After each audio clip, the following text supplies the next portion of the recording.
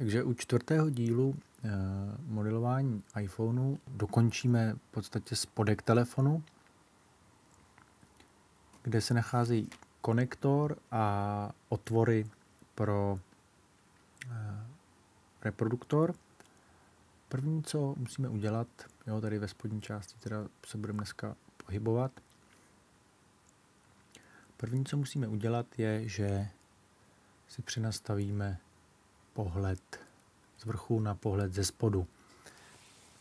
Takže zase kamera, button a musíme si posu, posunout uh, spodek telefonu, respektive ten podkladový obrázek.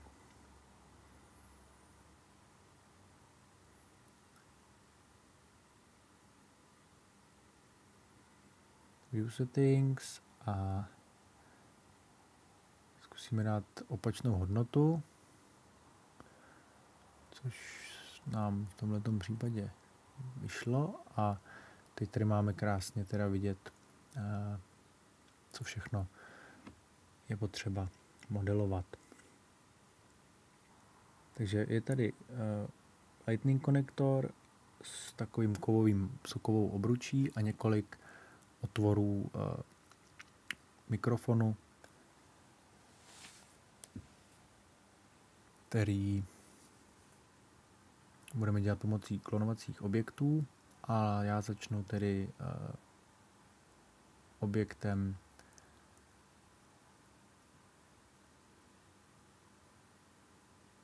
objektem toho lightning konektoru, což je v našem případě zase použijeme rectangle ve správné uh, ose nebo ve správné rovině a zase prostě dáme nějaký malý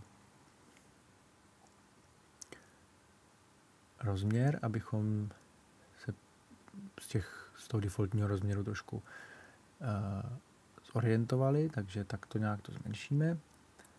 A teď se to zase budeme snažit napasovat na ten podkladový obrázek a drobně upravíme eh, rozměry.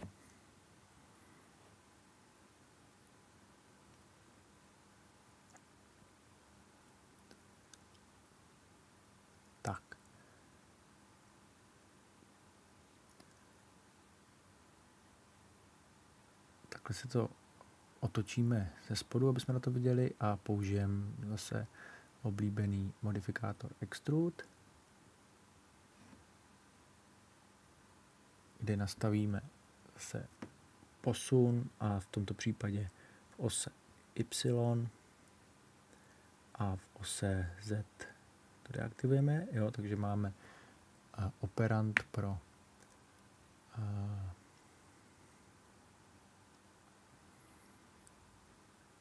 vyříznutí Lightning konektoru. A tou, tímto operandem vyřízneme díru do toho těla telefonu zase.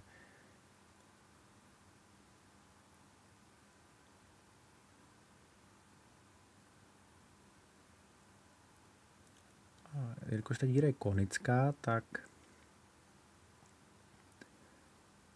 dáme uh, zaoblený uzávěr A tohle ten tvar použijeme jako operant. Lightning korektor ořez. A opět zase to použijem do té naší bulinovské hierarchie.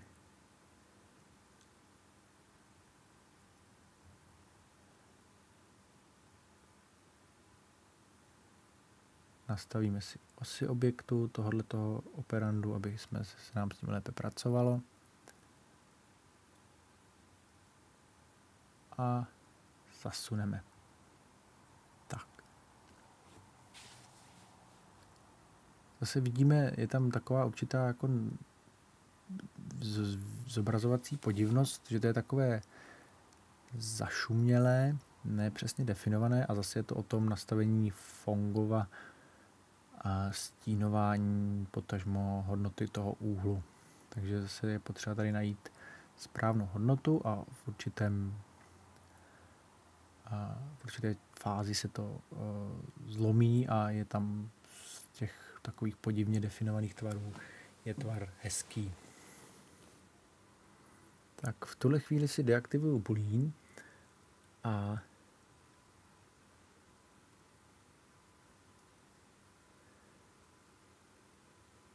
tenhle ten objekt, tenhle ten objekt převedu na polygony.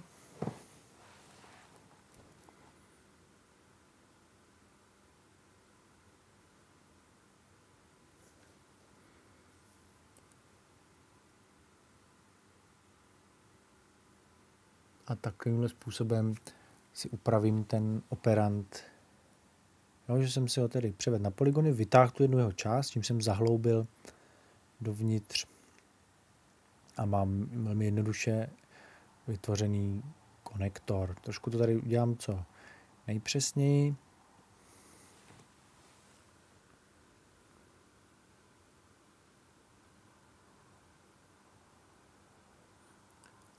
A zase stejně jako jsme to dělali tlačítek z boku, tak uh, použiju nástroj nůž a v polygonálním módu eh, toho těla základ obřežu eh, jeho okolí.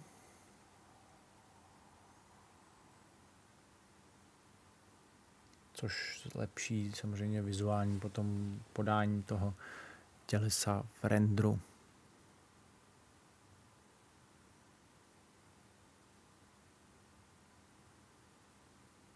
Tak tady jsem to proříz moc, tak to udělám znova. Tak.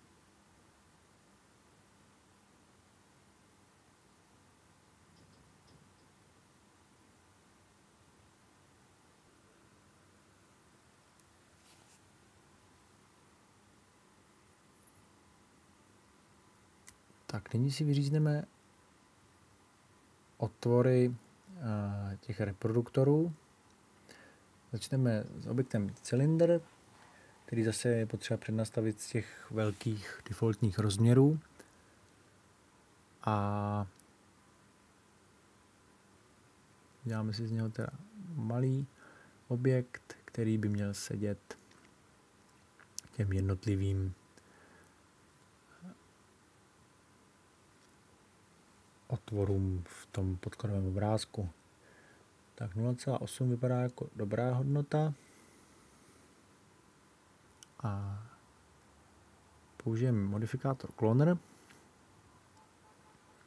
kterýž to defaultně posouvá objektivně vložené popřímce a to popřímce v ose Y, takže si to nastavíme na osu X.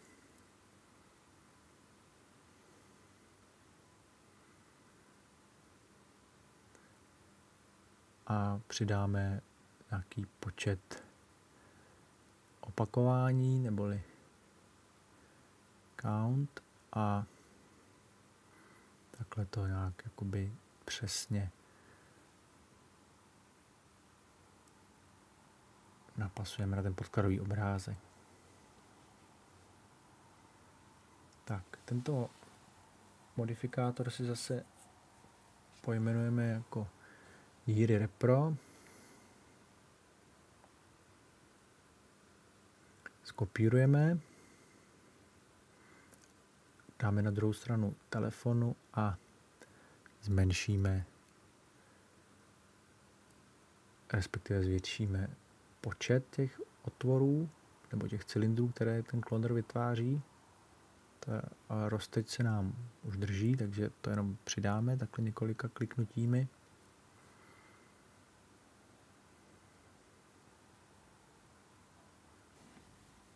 Oba dva tyto klonry si můžu napozicovat a vložit do toho operandu nál a ono se nám to krásně vyřízne.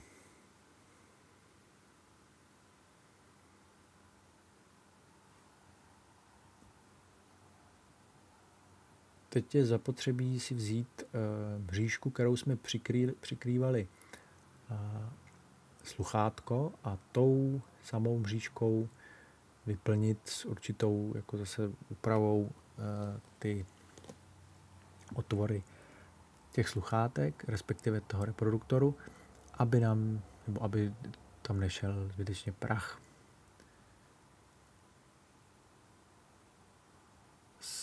Kontrolem nebo copy-paste.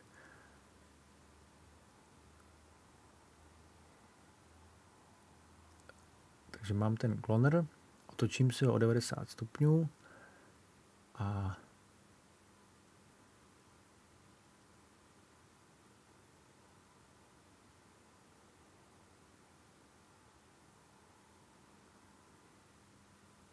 přenastavím si tloušťku na ještě daleko menší, než byla u toho sluchátka a zmenším si počet.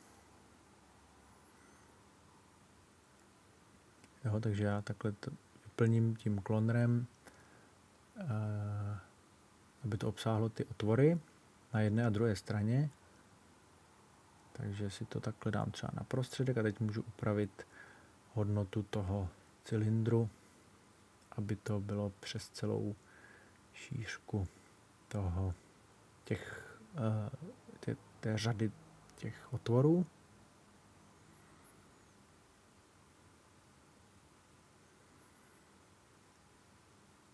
Takhle třeba by to mohlo být.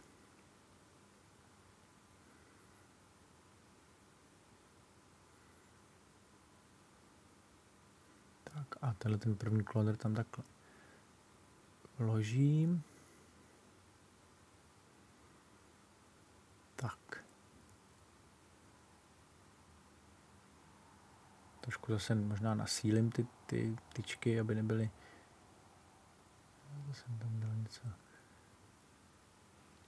Tak.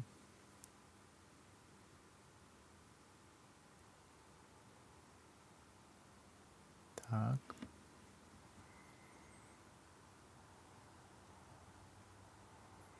No a teď ještě musím udělat další kloner, který bude o 90 stupňů otočený a bude spíše tenší než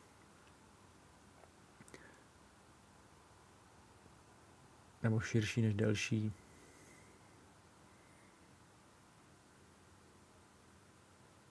Tak a bude, ty, ty tyčky budou samozřejmě daleko menší.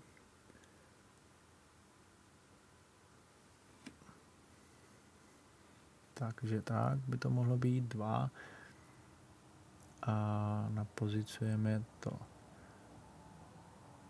takto a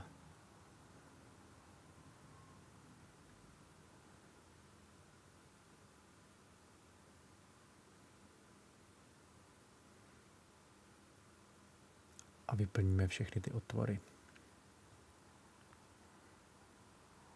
Jo, takže máme krásně ty sluchátka zakrytý mřížkou.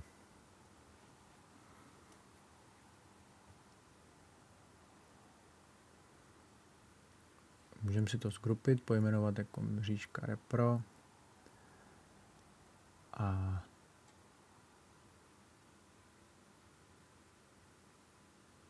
můžeme udělat instanci, protože to nemusím nějak jakoby kopírovat, instance je datově jednodušší a vložím si to také do té druhé části. Tak zase si tam můžu pomoct eh, nějakým eh, rozřezáním.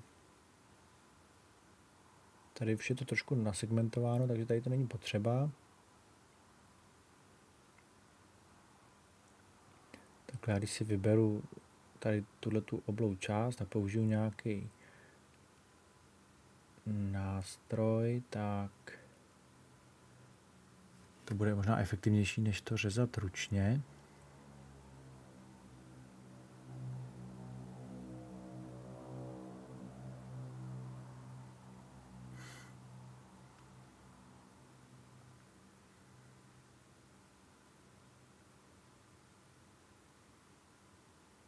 můžu plinkat s jedním řezem.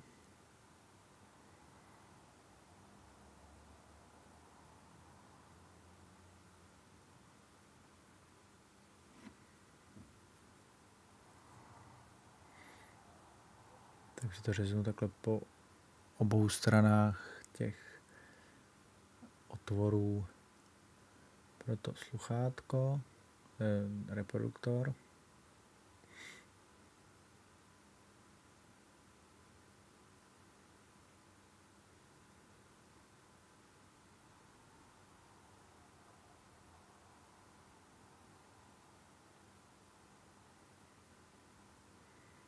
Tady jsem akorát v tom kroku kopírování té mřížky jsem si ji uh, posunul tam, kam nemá být, takže ji zase tenhle ten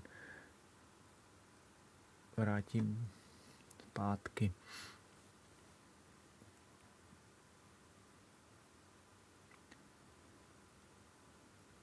Následuje teda tvorba těch šroubků.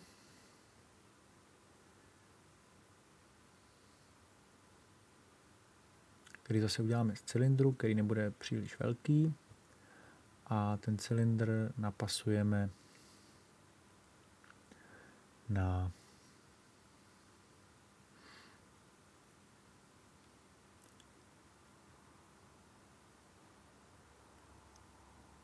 zase ty otvory podle pohledu ze spodu.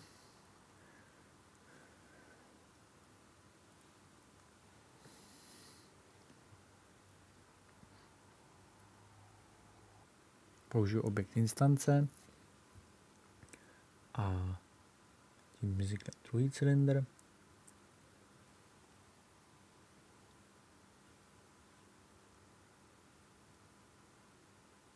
A zase vložíme to do, našeho, do naší řezací struktury bulínovský.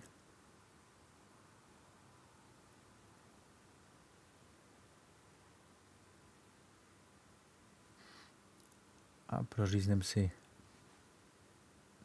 ne úplně nutně jakoby nějak totálně hluboký otvory, ale je to jenom, aby tam bylo nějaký zahlubení, do kterého potom vložíme hlavičku šroubu.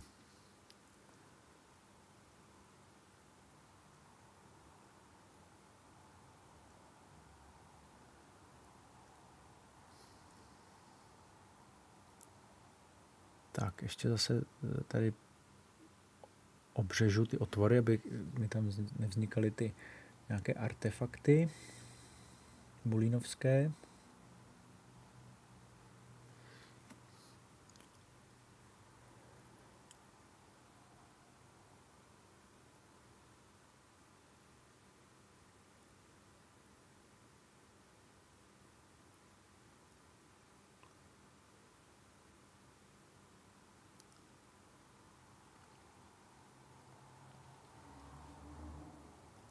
Ten cylindr, kterým jsem dělal šroubek, nebo otvor pro šroubek, tak ten použiju i pro vytvoření eh, hlavy toho šroubu.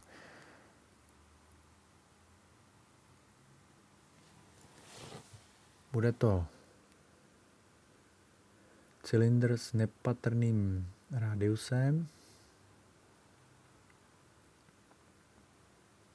Třeba 0,1 by mohlo být správně.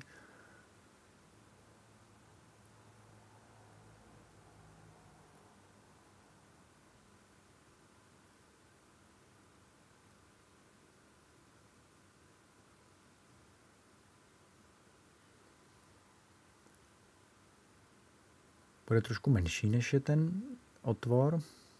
To je podstatný, aby, to, jednak, aby tam vznikla trošku škvíra a bude to vypadat prostě přirozeněji.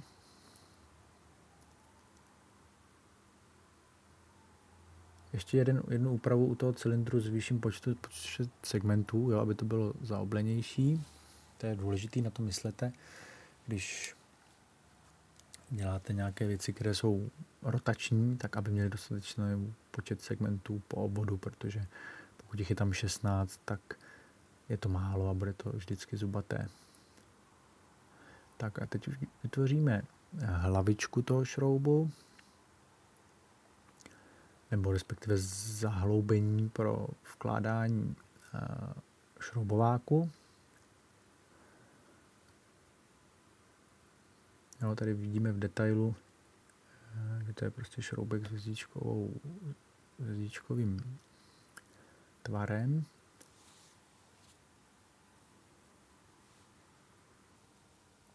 Takže použijeme geometrické primitivum hvězdičku, respektive to 2D primitivum. Nástrojem scale zmenšíme a zase ho napozicujeme tak, aby odpovídal místě toho šroubu.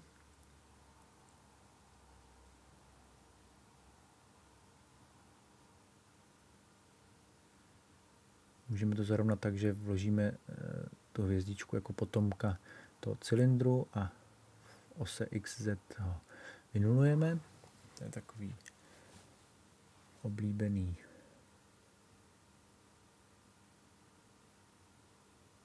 fígl.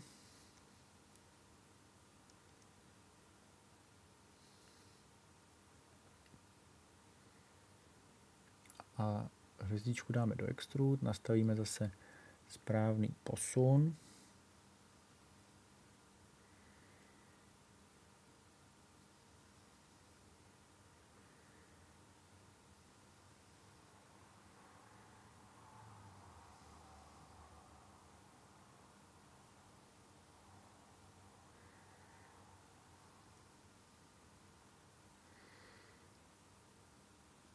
Nastavíme si osy toho, té hvězdičky a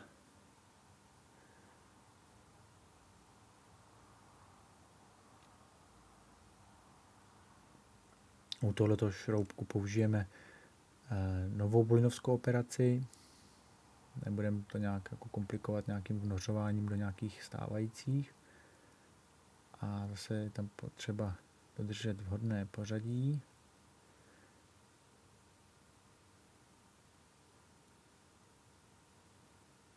Takže tak a hvězdičku do extrude.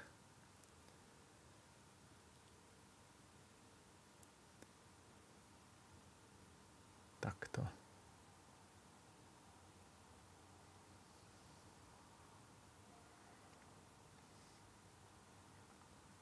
Tak ještě ten cylindr je potřeba převést na polygony, aby to fungovalo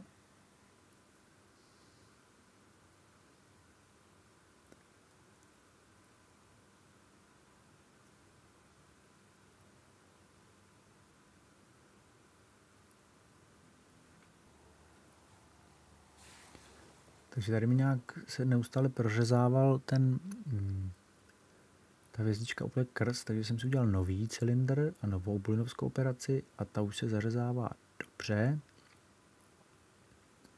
Takhle to má vypadat. A takže tu původní smažu.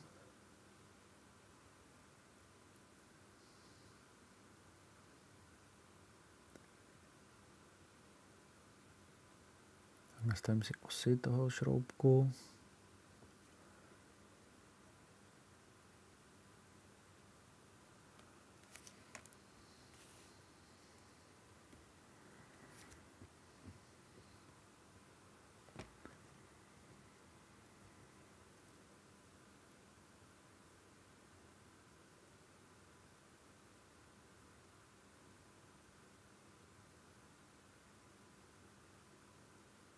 Tak nastavím tomu radius, o dost menší tedy, aby to nebylo takhle zaoblený totálně. Ještě.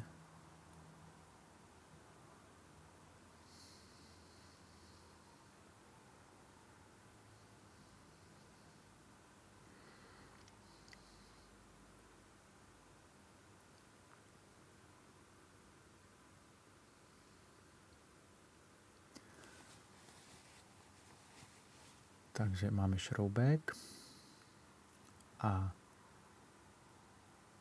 udělám z toho instanci, ať to zase nemusím datově rozšiřovat a máme spodní část hotovou. A v následujícím videu teda budou budeme řešit materiály světla a nějaký základní render. Tady si ještě můžeme dát tmavý materiál.